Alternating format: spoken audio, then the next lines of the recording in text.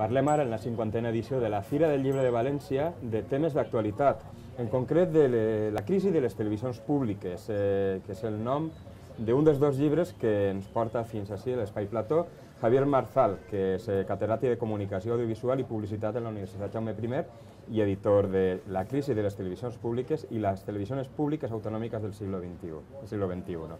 Javier, benvingut. Moltes gràcies. Eh, hi ha un model alternatiu, un model sostenible de televisió pública en el segle XXI? Home, jo crec que, eh, que sí. Eh, I tenim ahir l'exemple de lo que són les televisions públiques a, a altres països més avançats que el nostre, on la democràcia té més recorregut també que el nostre país, i on s'ha demostrat i s'està demostrant que els mitjans de comunicació públics estan oferint un servei molt important, molt important a tots els nivells, eh? perquè obeeix a una necessitat eh, també econòmica, social, cultural, que té tota societat avançada. ¿no? Eh, només en este, en este libro, en las televisiones públicas autonómicas del siglo XXI, nuevos escenarios tras el cierre de Radio Televisión Valenciana. És el subtítol.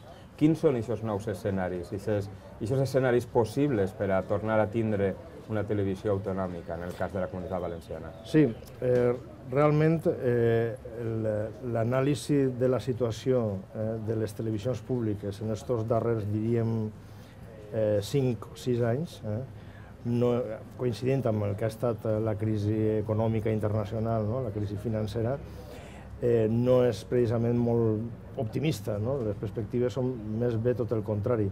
En aquest llibre es fa un repàs, no? una revisió als les principals eh, radiotelevisions públiques que tenim al nostre país eh, en el mapa autonòmic no? i efectivament es veu com la crisi els està afectant d'una manera molt greu. No? I particularment en el cas de RTBB, bueno, de moment el que tenim és un cessament de les emissions i un procés de liquidació de l'empresa, el que no vol dir que no existís que, o sigui, encara existeix RTBB. Eh? Eh, I podria ser aquest procés reversible? Bueno, això és molt, està, està sotmès diguem, a aquesta qüestió a moltíssima controvèrsia. No? Jo, des de la meva posició i, i veient un poc no, totes les, eh, en fi, les opinions de juristes, d'economistes, de gent que està eh, molt clavada també en el que ha estat el procés de liquidació, etc. Sembla que, malgrat tot, eh, hi ha possibilitats de que se, pugui, se poguera revertir sempre que hi haguera, òbviament, voluntat política, no? i, evidentment, eh, condicionat a un altre model de televisió, com molt bé estaves dient tu, no?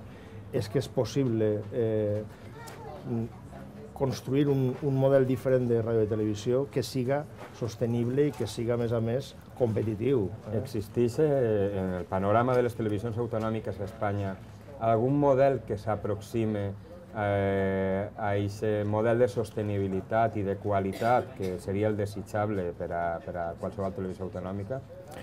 Sí, jo diria que en aquests moments, eh, a data de 2015, eh, realment eh, les eh, radiotelevisions s'han apretat totes el cinturó d'una manera molt notable i en aquests moments se podria afirmar que eh, la televisió, per exemple, basca, del País Basc, eh, la ETV, eh, eh, la televisió galega, eh, i en part també la televisió, eh, que és la Corporació Catalana de Mitjans Audiovisuals, que coneguem com a TV3, són les tres televisions autonòmiques que estan, eh, diguem-ne, eh, fent un esforç molt important per efectivament fer ese, cobrir aquest paper de servei públic.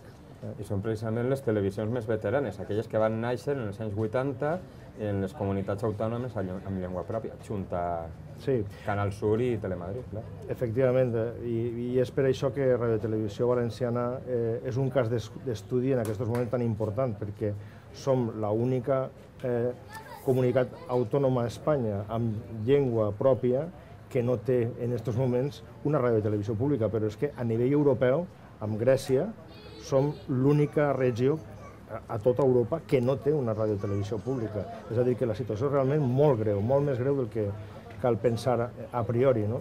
Perquè, a més, com a expert en el sector audiovisual, eh, creus que també, a banda de les implicacions de vertebració cultural, de societat, també n'hi ha una, una, una, unes implicacions econòmiques, no sols per, perquè eh, perquè se deixa de fer una producció, sinó també l'impacte que té que isca qualsevol producte o qualsevol festa de qualsevol poble del país en, en la televisió. Efectivament. Eh, la desaparició de la ràdio i televisió pública valenciana este en quasi any i mig eh, ens ha demostrat, a més d'una manera absolutament empírica, que les conseqüències per a l'economia del nostre territori, per, als per a les empreses que fan productes i, i han perdut la finestra eh, en un territori de 5 milions d'habitants. Cal recordar en aquest sentit que al País Basc són un milió i poc.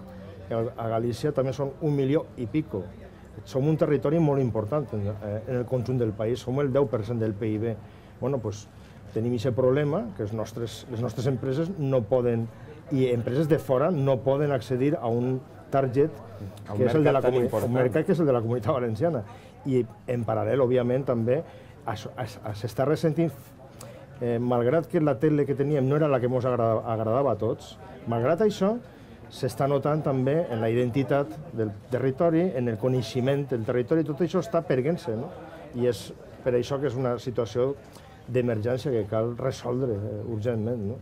Es resoldrà? Eres optimista, eres pessimista? Eh, tindrem una solució al mig termini, curt, llarg? Com ho veus? Pues mira, jo no sóc molt optimista pel que fa no, a la capacitat Eh, així n'hi ha un, un problema de fons. La televisió va néixer l'any 84, amb la llei de creació, amb l'unanimitat de tot el Parlament valencià, que es diu ràpidament, però ves a veure quantes coses se voten d'aquesta manera. Entre ells diputats que votaren el tancament. Clar, clar, i després vingué eh, este període en el que bueno, pues, se va produir això. No?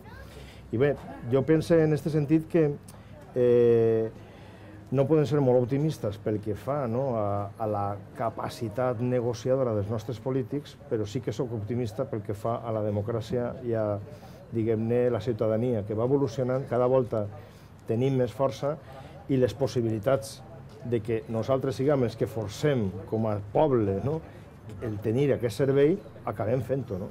Una vegada eh, la decisió en mans de, del poble.